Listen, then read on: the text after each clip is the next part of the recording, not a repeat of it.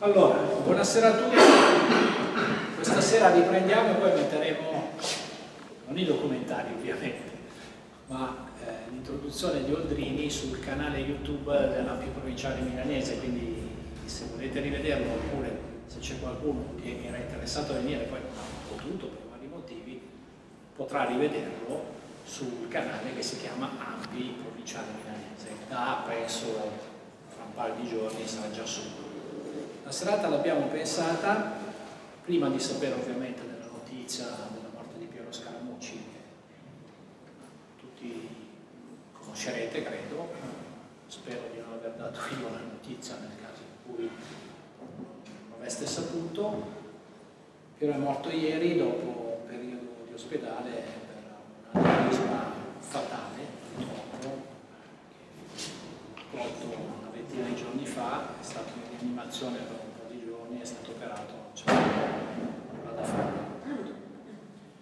Piero Scaramucci scompare un testimone degli anni eh, milanesi 60, una parte, 70 e poi per tutto il resto, già direttore di Radio Popolare, giornalista prima di Rai 3.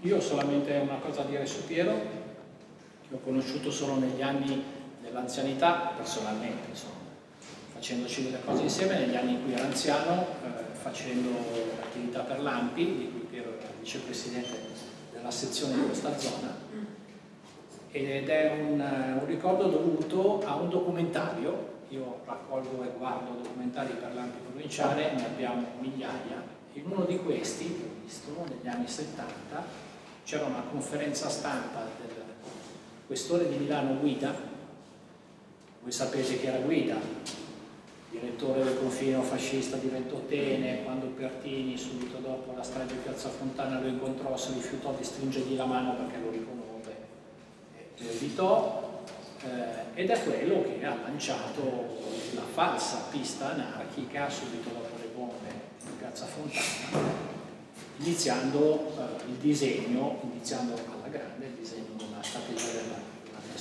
Detto così molto velocemente, ho tagliato con l'accetta ma giusto per... A quella conferenza stampa era presente per la RAI Piero Scaramucci.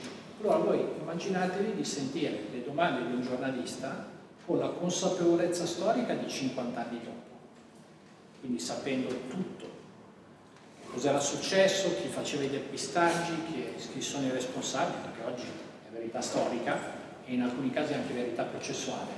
Vi assicuro che quando ho sentito le domande di Piero Scaramucci al questore, sono rimasto sorpreso perché ho detto, ma cazzo, ma sapeva già che cos'era successo, perché le domande puntavano no?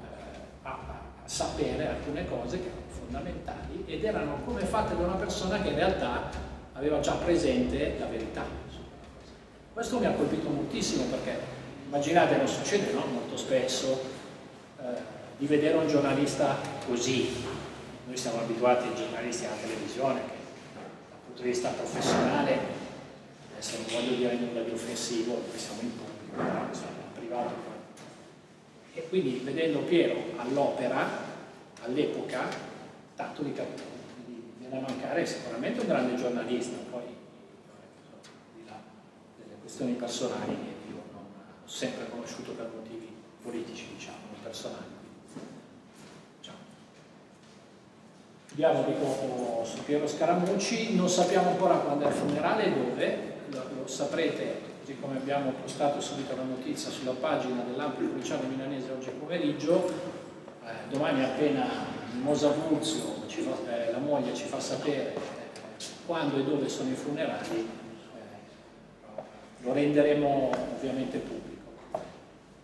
Veniamo questa sera. Questa sera è l'anniversario del golpe cileno e abbiamo con noi Giorgio Oldrini che è stato per moltissimi anni, mi hanno detto, non so, 8 anni, corrispondente dell'unità eh, dall'America Latina, da Cuba, e di, appena l'ho contattato gli ho detto guarda noi volevamo proiettare i documentari di Francisco Guzman, ha detto sì sì, conosco Guzman, conosco i documentari, non c'è problema, ci racconterà lui di quegli anni, da, perché io non sono in grado di fare una relazione che non dica delle banalità che sanno, tutto, che sanno tutti, eh, lui invece farà una relazione su quel periodo e, e, su quello che è successo. Dopodiché vedremo due documentari di Patrizio Guzman e un terzo documentario più breve, eh, ho visto morire Allende, di tre giornalisti della RAI dell'anno 1979, credo 81, adesso non ricordo bene l'anno e vi avviso che questa sera, tornando a casa, per gli ultra appassionati di quelle vicende, all'una, all'ore una di notte, su Rai 3 manderanno il documentario di eh, Nanni Moretti sul Cile, che io non ho ancora visto, che hanno tutti detto che è molto bello, per cui eh, ve ne consiglio la registrazione o la visione, se, se riuscite a stare sempre. Ovviamente nel caso in cui non riusciate, noi lo registriamo e lo mettiamo in questo database dei filmati che abbiamo. I filmati di stasera, se vi piacciono, sono in vendita lì, i filmati documentari, sono in vendita al banchetto dietro di voi al prezzo di 2 euro a DVD. 2 euro va bene, non facciamo commercio di questa cosa, anche perché non è nostra, ne deteniamo i diritti d'autore, però vogliamo farne diffusione, quindi 2 euro è il costo del supporto eh, DVD più copertina, insomma il costo puro pulito del, dell'oggetto che comprate. Sopra ci abbiamo registrato i due documentari di, di Pazizio Guzman in un solo DVD e poi in un altro DVD abbiamo messo il documentario dell'arte, questo perché se volete farlo vedere a qualcuno invece. Io ho finito, buona serata a tutti e lascio la parola a Giorgio. È detto all'una, vero che c'è? Come? All'una, vero? All'una questa notte, sì, oggi. Funziona. E adesso te lo accendo, lo accendo Tieni qualche secondo che arriva. Ah, aspetta, devo accendere anche quella. Io ho una, la mia lunga esperienza ho una teoria che si è consolidata nel tempo, che una vera manifestazione di sinistra è quando non funziona il microfono. Arriva, adesso È cronico. Sì. Bene, buonasera. Anch'io volevo ricordare brevemente Piero Scaramucci che ho conosciuto, io l'ho conosciuto le prime volte quando ci fu nell'87 il dramma della Valtellina. Io venni mandato dall'unità, lui era per la RAI e poi abbiamo, abbiamo lavorato insieme tantissime volte, compreso nel sindacato dei giornalisti, e lui e anche io che sono stato per molti anni nel sindacato dei giornalisti lombardi. Mi spiace molto, perché poi era una persona appassionata e civile insieme. Non sempre le due cose vanno di pari passo. In questo tempo in cui la, la passione, la cultura e la civiltà abbiamo visto che subiscono molti affronti e invece una persona che riusciva a mettere insieme tutto questo era prezioso. Detto questo, parliamo del Cile, è vero, io ho vissuto molti anni in America Latina e ho poi un rapporto col Cile molto intenso perché quando io vivevo a La Habana, vicino a casa mia, c'era un uno dei più grandi centri degli esuli cileni, il cui presidente fino al suo suicidio fu la figlia di Allende, che era la tante Allende. E quindi con loro ho intrecciato molti rapporti, appunto che sono stato varie volte in Cile quando c'era Pinochet, mandato da loro per fare giornalista, ma non solo. Oggi, come veniva ricordato, è l'anniversario del golpe ed è l'anniversario anche delle Torri Gemelle. L'11 settembre pare che sia un giorno che non porta molto bene. Ma consideravo che nel giro di qualche anno gli Stati Uniti sono passati da carnefici a vittime. Eh, una specie di nemesi in qualche modo. Eh. E quindi che, perché tutti sappiamo che il golpe contro Allende è stato un golpe pagato, organizzato, guidato dagli Stati Uniti. Eh, questo è molto interessante per noi italiani, perché ci intrecciarono molto le vicende italiane con quelle cilene, allora e poi ancora dopo. Allora voi, qualcuno di voi ricorderà che Henry Kissinger, che era il segretario di Stato degli Stati Uniti, che fu uno degli organizzatori del golpe in Cile, se ne uscì un giorno con una frase che diceva che bisognava evitare che si cucinassero spaghetti italiani in salsa cilena, perché in quel momento l'Italia e il Cile erano due paesi in cui la sinistra aveva ottenuto grandi risultati stava ottenendo grandi risultati. E quindi in quel momento, dentro uno schema della divisione del mondo in blocchi, gli Stati Uniti non volevano, non potevano permettersi, oltre che per ragioni economiche molto forti ovviamente, che ci fossero, come dire, eh, iniziative diverse da quelle che loro volevano. E quindi da noi Piero ne ha parlato tante volte, no? la strategia della tensione, il terrorismo e tutto quello che noi ricordiamo bene perché poi Milano è stato uno dei centri di questa, di questa grande operazione, tremenda operazione e in Cile si è coltivata questa uh, operazione di, che ha portato al golpe. Come forse voi sapete, eh, la la Costituzione cilena è molto particolare. Sostiene che si elegge il, pres il Presidente, viene eletto quando raggiunge il 50 più 1% dei voti. Nel caso in cui non lo raggiunga, si va a un ballottaggio in Parlamento tra i primi due. Allende venne, vinse, il, fu il primo ottenne il 36%, il secondo era il candidato della destra, che si chiamava Jorge Alessandri, e il terzo il candidato della democrazia cristiana. Quindi si andò in Parlamento e ci fu una prima operazione di destabilizzazione perché gli Stati Uniti volevano convincere la democrazia cristiana, in particolare quello che era stato il presidente precedente, che era Frey, a votare Alessandri, che era il secondo, con l'impegno teorico, sapete che questi impegni sono sempre teorico, teorici, di Alessandri di dimettersi subito dopo, tornare alle elezioni in modo che vincesse Frey. Naturalmente ci fu una riunione molto, diciamo, vivace della democrazia cristiana, che si sciolse decidendo di votare Allende per l'intervento di quello che era stato il candidato della democrazia cristiana che si chiamava Rodomiro Tomic e Rodomiro Tomic, se ne uscì con uno slogan che secondo me è attualissimo. Rodomiro Tomic disse si se gana con la derecha, gana la derecha. Se si vince con la destra, vince la destra. E quindi convinse la maggioranza dei deputati e dei senatori della democrazia cristiana a votare a Bielke e Allende divenne il presidente. Fu una grande operazione politica perché per la prima volta in America Latina veniva eletto un presidente eh, socialista di sinistra attraverso la via costituzionale. Non era la rivoluzione cubana, era la via delle votazioni e del rispetto di una Costituzione che era stata eh, approvata tanto tempo prima e quindi diventava un secondo esempio per un continente che cominciava ad essere molto inquieto, tanto che di lì a qualche tempo sì, già c'era stato il golpe in Brasile, ma poi sapete che subito dopo ce ne furono altri in America Latina.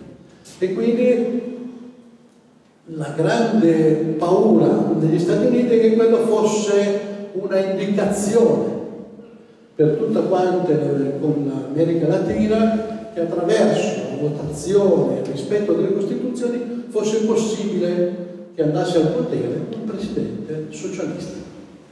E quindi cominciarono i sabotaggi. Sapete che nel frattempo sono state desegretate moltissime carte della CIA, del Senato degli Stati Uniti, della Presidenza, che raccontano passo passo i finanziamenti straordinari, ma anche i delitti, perché nel periodo in cui si attendeva la votazione del Parlamento venne assassinato il capo delle forze armate cilene che si chiamava Schneider, venne assassinato dalla destra, non dalla sinistra, dalla destra, perché in questo modo si metteva in tensione un paese e si pensava che non si votasse a niente.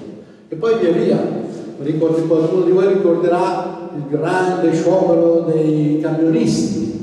Il Cile è un paese lunghissimo, con un sistema di trasporti molto elementare, quindi i camionisti erano e sono ancora adesso in gran parte una, una struttura essenziale per la vita del paese. Venne fatto uno sciopero che durò all'infinito e che era pagato, pagato eh, dagli Stati Uniti. Eh, vennero alimentati eh, forze eversive dentro e fuori le forze armate fino a quando per la l'appunto si arrivò al golpe. Si arrivò al golpe e qui c'è un, un fatto ancora originale, perché in America Latina di golpe ce ne sono stati infiniti, però quello cileno noi lo ricordiamo, non solo noi, ma noi italiani lo ricordiamo con particolare partecipazione, per alcune ragioni. La prima è che Allende è morto. Molti dei presidenti vittime di colpe ce ne sono andate. Lui è morto. È morto lì perché ha difeso la democrazia del suo paese e il suo ruolo fino alle estreme conseguenze. Questo è un fatto straordinariamente importante. Ma poi anche perché da lì è nata una riflessione che ci ha interessato.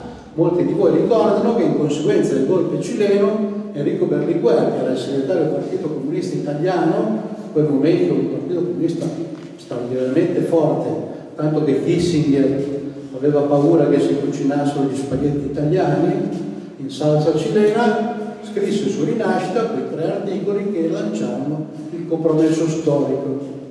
Tema che ancora oggi è molto attuale, perché il dibattito era ed è, ma vale una legge maggioritaria o vale una legge proporzionale? Si può governare, si chiedeva Berlinguer, con il 50, se noi raggiungessimo il 51% dei voti, potremmo governare o no? E quindi è necessaria una grande alleanza che vada al di là del conteggio materiale dei voti che ogni partito riesce ad avere. Allende aveva preso il 36%, era un presidente costituzionale, ma aveva preso il 36%. E quindi la domanda di Berlinguer era una domanda che aveva una sua attualità straordinaria e per l'esempio cileno e per la situazione italiana. Sono altri motivi per cui noi siamo certi che gli Stati Uniti hanno alimentato il golpe e che in qualche modo ci riguardano. Per esempio, c'è un personaggio che si chiama Michael Townley, che è stato uno dei bracci criminali dei, cileni, dei golpisti cileni. È uno statunitense, era un agente della CIA.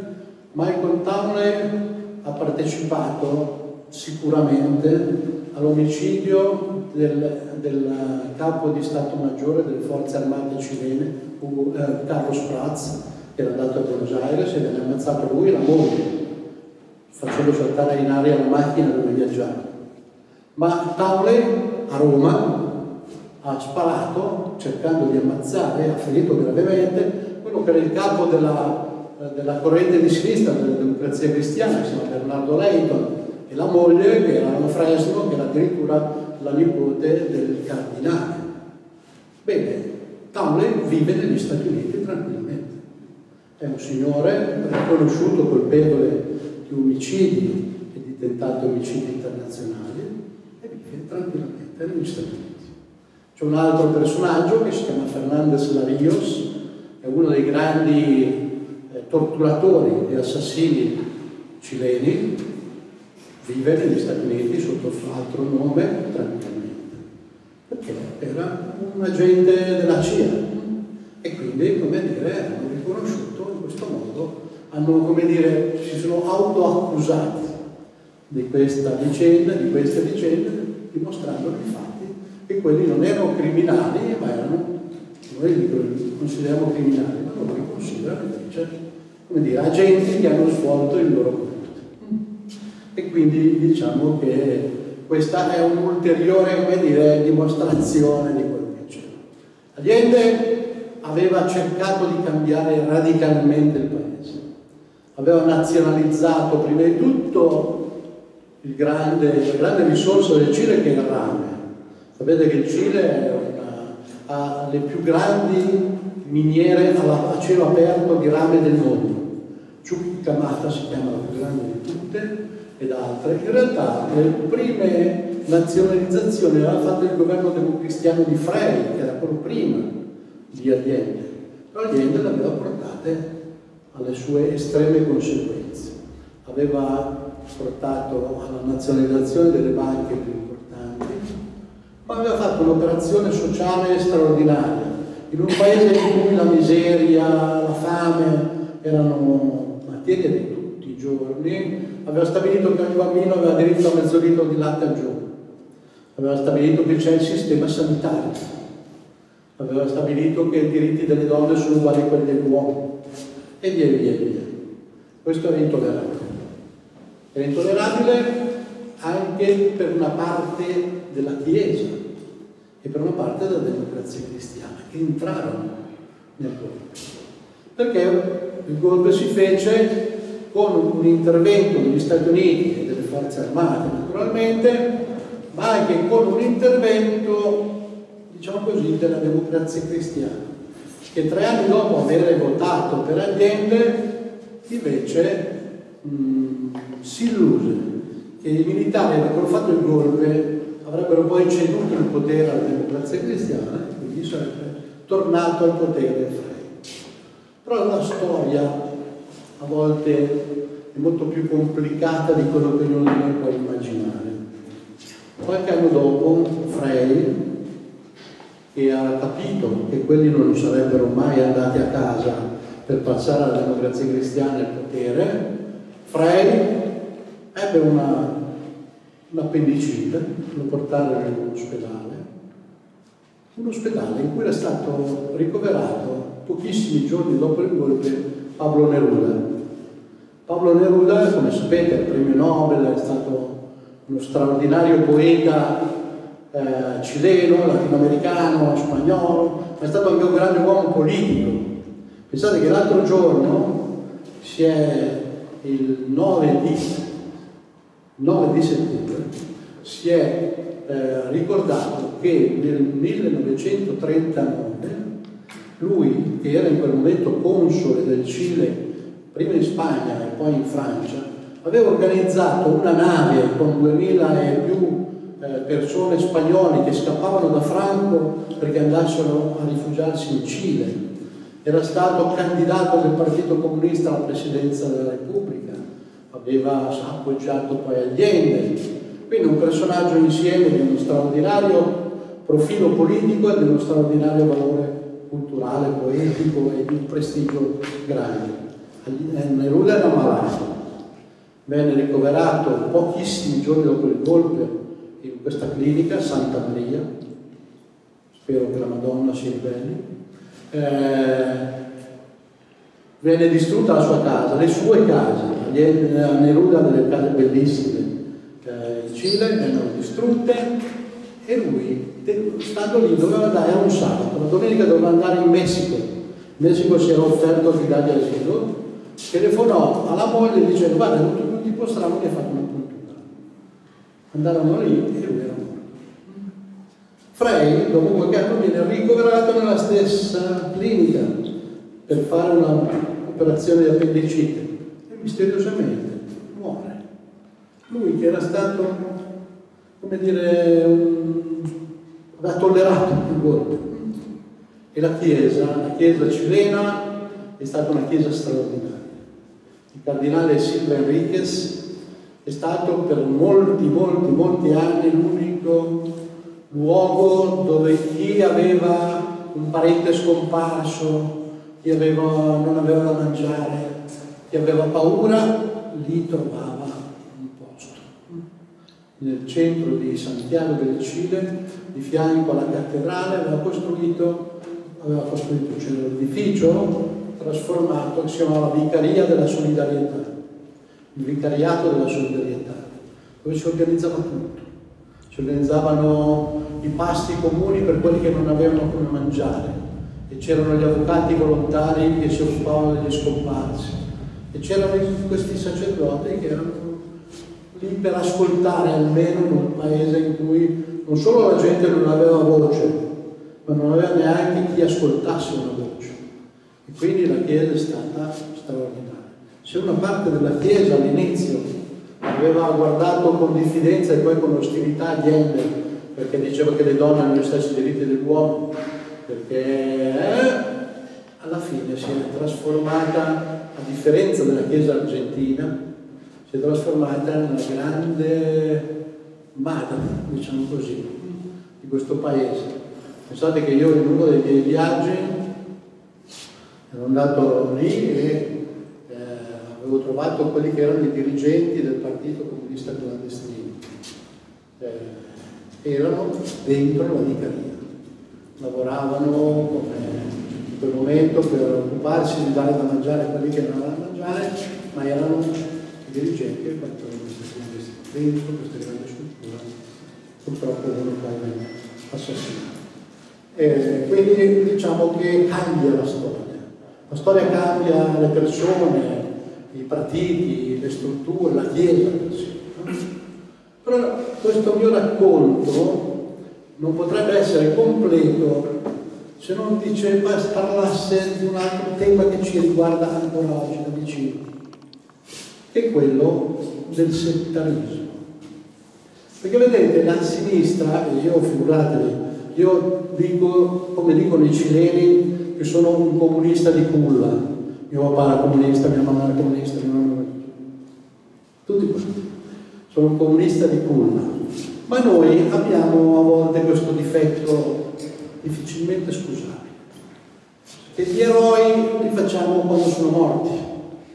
Perché Allende, Salvatore Allende, quando era vivo, e quando non solo era vivo ma era in grandi difficoltà, perché si montava, si preparava al golpe, aveva una parte della sinistra che lo accusava di essere un socialdemocratico.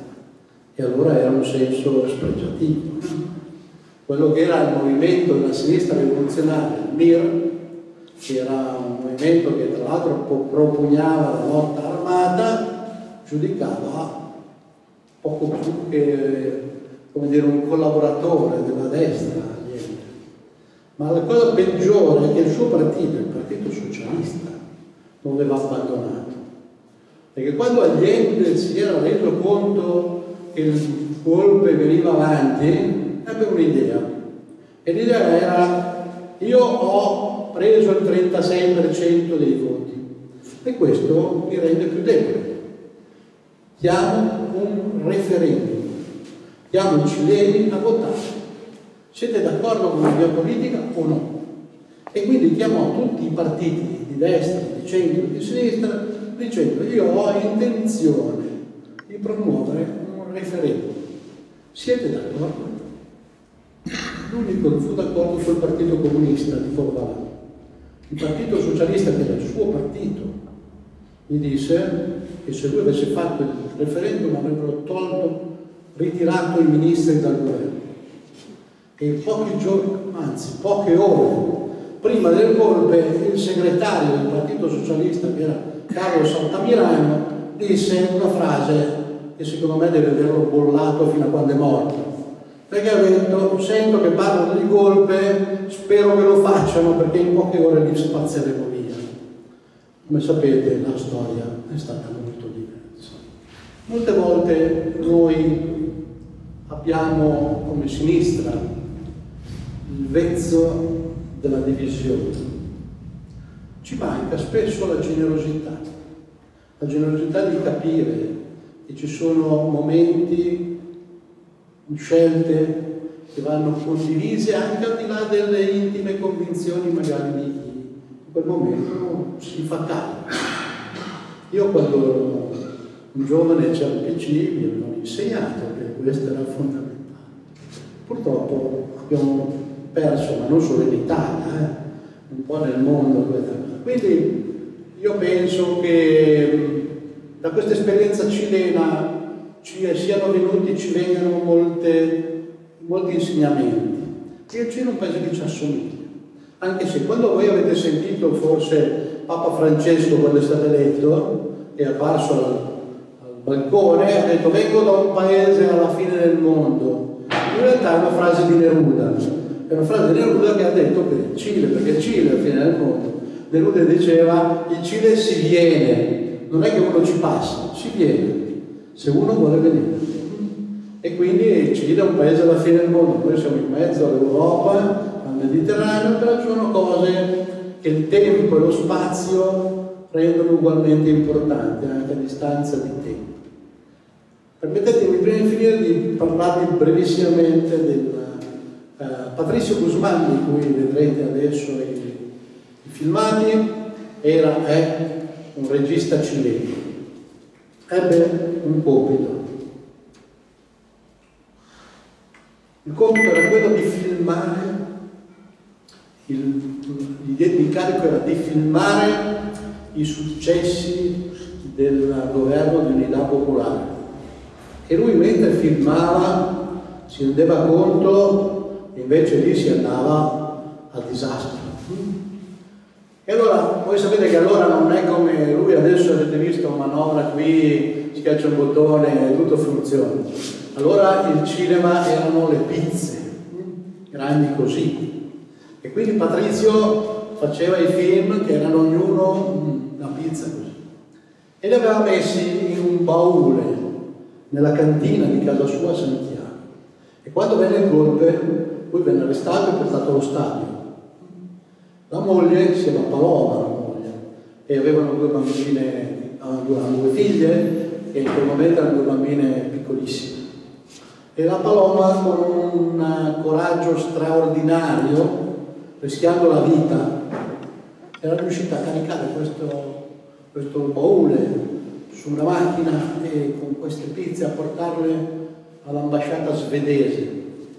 Svedesi presero le pizze Paloma riuscì a scappare con, la, con le due bambine, venne a Cuba, poi Patrizio venne rilasciato e quindi ha potuto lavorare per fare, per lavorare, per montare questi film che aveva girato eh, per un lungo tempo e che quindi ha, sono stati salvati da lui, ma diciamo, visto che parliamo di donne, soprattutto da Paloma. Grazie e buona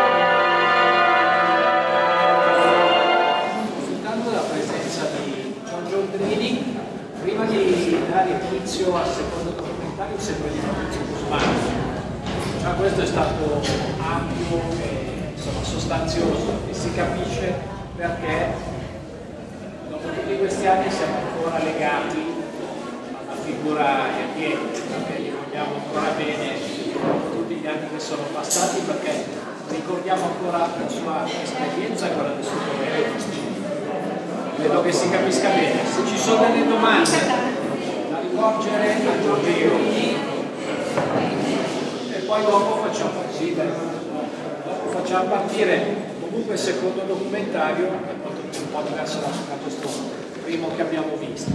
Se ci sono delle domande per Giorgio che qui confrontiamo, eh, fate pure. Vai, una cosa brevissima.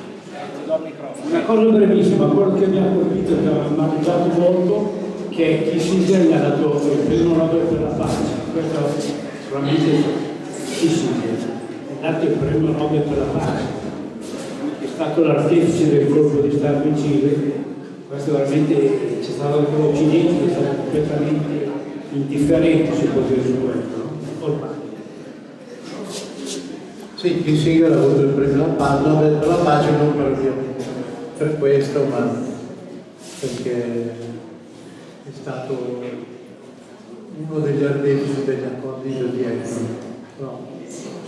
Eh, però evidentemente la partecipazione, come del resto qui l'ambasciatore degli Stati Uniti che è stato intervistato da Guzman ha raccontato apertamente la loro partecipazione al colpe che, cui abbiamo visto qui tutta la storia.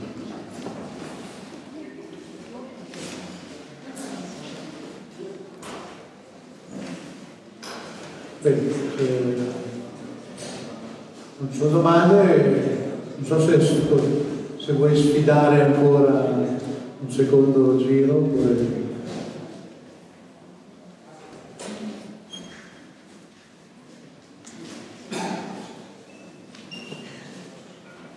Eh, una cosa volevo chiederla io. Avete visto la tranquillità estrema con cui l'ambasciatore degli Stati Uniti ha dichiarato che in pratica l'hanno ammazzato loro, no? Adesso non ha detto proprio così, però quando tu organizzi un golpe e poi il risultato finale è che il Presidente muore, chi ha organizzato il golpe è responsabile della morte, anche se non ha materialmente tirato il grilletto, mi sembra come logica abbastanza. Però questo lo dicono dieci anni fa, adesso, all'epoca negavano, negavano nella maniera più assoluta, non c'entravano nulla con gli RPG. Di questo io ho un ricordo vago, volevo chiedere confermo al primo se era così, perché adesso io non voglio fare paragoni fra Allende, che era una figura straordinaria, e un governante come Maduro, perché cioè, cioè, non si può proprio fare questo paragone, era molto meglio Allende rispetto a Maduro, ma il paragone fra il comportamento degli Stati Uniti sul Cile di quell'epoca e un pezzo del comportamento degli Stati Uniti sul Venezuela di oggi, quello sì si può fare, perché mi sembra che ci sia, si parli, sono un esperto, chiedo lui che si parli apertamente da parte degli Stati Uniti di lotta economica contro il Venezuela, di boicottaggio, di embargo, forse ci sono anche dei finanziamenti all'opposizione, questo non forse, sicuramente. Mi sembra che non hanno perso le antiche abitudini, adesso senza fare chissà che comizio, ma così. No, sono due cose. Gli Stati Uniti hanno cominciato a elaborare questa tattica che abbiamo visto qui portata nel 1954 in Guatemala. Quando in Guatemala c'era un governo eletto e c'è la riforma agraria e organizzarono una, una, in quel caso un militare che si chiama Castillo che fece un golpe e quindi travolse il governo eh, eletto democraticamente. E quindi da lì si è andato via via sviluppando una strategia che qui ha avuto in Cile la sua rappresentazione maggiore. Oggi loro continuano ad avere una ingerenza fortissima nel Venezuela, in altri paesi anche.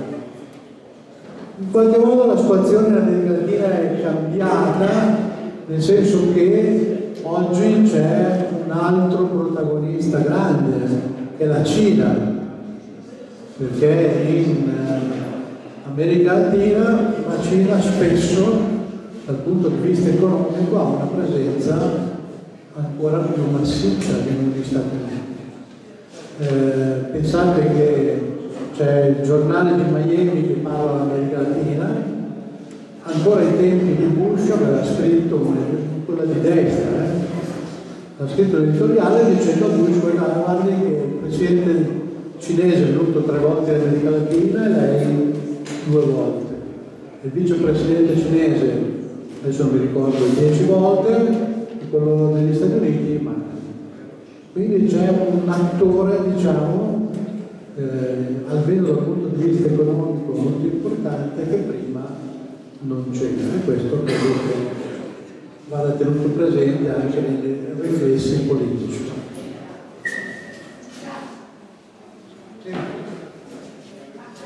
Aspetta, da.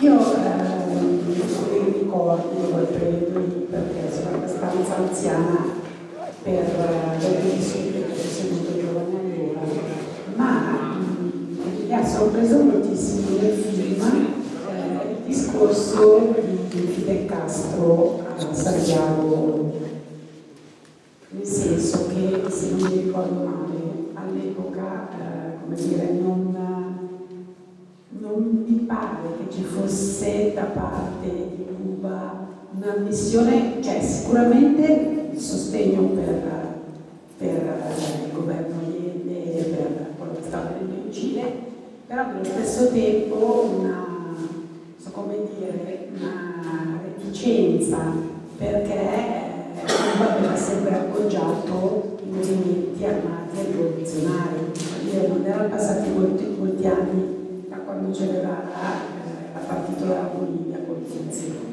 di proseguire negli altri paesi dell'America Latina. Cioè, quindi in realtà, al di là del fatto che ovviamente essendo ospite, cioè era lì appoggiare il governo che c'era, ma l'atteggiamento di Cuba nei confronti del governo Allende, quali erano tu che eri andavati in quel periodo? Eh, no, mi sono arrivato un po' dopo. Ma no, Cuba ha appoggiato molto la gente. Cuba, eh, ti ricordo innanzitutto che Che Guevara è morto nel 67 in Bolivia, qui siamo dal 70 in avanti. Eh, Fidel Castro è stato, andò per qualche una vita e rimase un mese eh, girando tutto il Cile e credo osservando con molta attenzione e con partecipazione. Poi di Cuba c'è un'idea un po'... In Cuba certo ha sostenuto per lungo tempo le guerriglie varie, alimentari, però Cuba è... Io ero a Cuba nel 76 arrivò da Panama il generale Torrijos, era quello, sapete che Panama è il paese che ha attraversato dal canale di Panama ed era di sovranità statunitense. E quindi Torrijos, che era un militare, era un colonnello, che però aveva fatto, aveva preso il potere sulla base di un nazionalismo ed era stato ricevuto a Cuba con tutti gli onori. E quindi Cuba certo aveva una politica, ma una politica attenta a tutte le occasioni che c'erano, compresa quella di un militare che si oppone all'avere, come diceva Torricos, siamo l'unico paese che ha due confini in mezzo al paese, perché il canale di Panama divide in due paesi. E quindi credo che loro hanno avuto una politica preferenziale ma con un'attenzione grande a tutto quello che si muoveva e che fosse in conflitto con gli Stati Uniti in quel periodo. Sì, aspetta, però devi parlare dentro perché così registra. Ciao, prima hai detto appunto che la Russia si era astenuta, aveva, la Russia ah, si era astenuta, non aveva, non aveva appoggiato in nessun modo. Ecco, per cui, dato che in quel momento c'era la questione dei due blocchi a livello, vorrei capire il perché, se, se c'è una motivazione di questo. Beh, la motivazione era chiara. Eh, L'Unione Sovietica non ha appoggiato, non ha appoggiato l'attesa era che facesse un intervento economico tale da sostenere dall'altra parte Allende, che era invece penalizzato dalla politica degli Stati Uniti.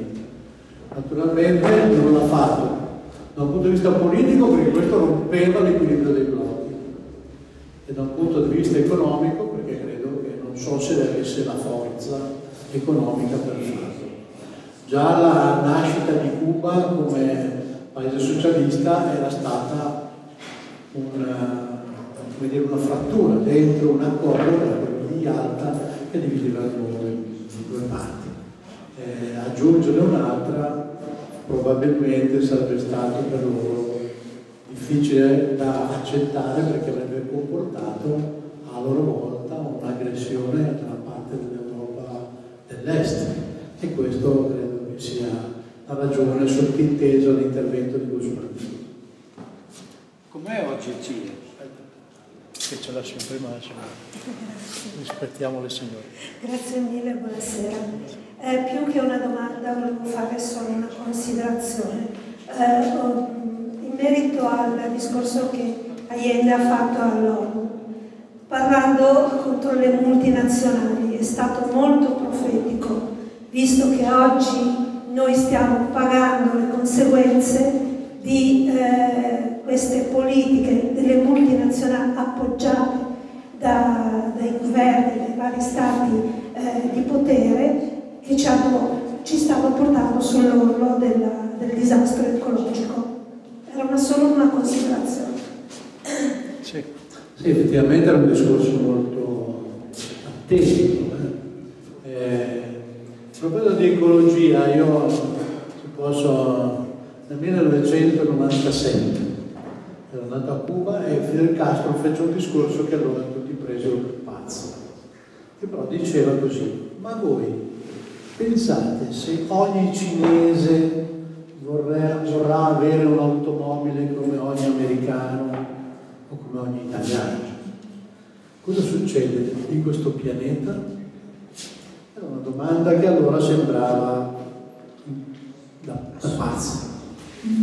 Oggi è una domanda che attraversa tutti noi, cioè il modo, il modello di vita che ci abbiamo costruito è ancora un modello di vita che può rispondere a una domanda che non è più quella di ristretti, relativamente ristretti gruppi di popoli, poi invece diventa un modello generale, quindi questo è una delle domande che ci restano da rispondere. Allende è stato veramente un profeta, visto il discorso di, di, del, di Fidel Castro è del 77. 97. 97. Lui nel 72 certo. molto... Infatti, cioè, sono le persone che vedono avanti rispetto a noi. E questo bisogna riuscire a capire perché a volte sono così avanti che uno dice ma quello che è fuori di testa, invece mi guarda lontano. È vero. Grazie.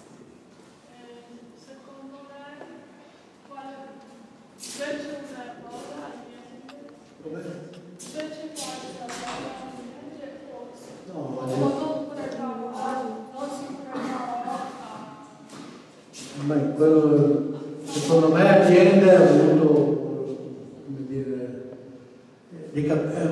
ha condotto un esperimento in un tempo che non era, non era pronto a ricevere. Ed si è trovato con un nemico straordinario come erano gli Stati Uniti, straordinario dal punto di vista della potenza, della potenza economica, della potenza mediatica e con un'opposizione interna che ha giocato sia su, sugli interessi del privilegio di una parte della popolazione e poi, come del resto avete visto nel film di Patricio Guzman, sulla divisione folle e suicida della sinistra. Lui è stato, tra l'altro secondo me, nonostante quello che uno dice nel film, il fatto che lui sia morto, che Allende sia morto, una delle ragioni della sua attualità. Perché, come dico, tanti colpi di Stato ci sono stati in America Latina che nessuno ricorda. Quello invece è dentro la nostra coscienza proprio per questo. Ah, dicevo prima, eh, com'è oggi il Cile? Beh, oggi il Cile è un paese molto più sviluppato, eh, che alle ultime elezioni è votato a destra. Eh, Santiago è una città che potrebbe stare negli Stati Uniti piuttosto che eh, in Francia o in Inghilterra. ci sono ancora grandi disparità eh, tra la, città e, e, la campagna, tra le province varie. È un paese che non ha ancora fatto del tutto i conti col suo passato, al punto che c'è ancora un forte eh, come dire, gruppo di familiari che cercano quelli scomparsi. E questo è il segno che non si è pacificata la memoria. Pensate che eh, io ho un amico carissimo che è un avvocato, che era anche stato deputato del Partito Comunista, che è stato il primo che ha denunciato Pinochet quando Pinochet era ancora capo delle forze armate. Subito attentati e continua in questa battaglia di ricerca del, perlomeno della sorte di quelli che non si sa che sorte hanno.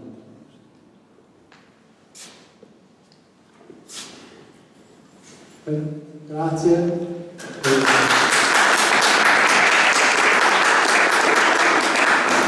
Allora, qua siamo lì, dobbiamo decidere cosa fare. Eh, abbiamo due documentari visto che si è fatto un po' tardi un po' di gente è andata via, inevitabilmente questo è il nostro.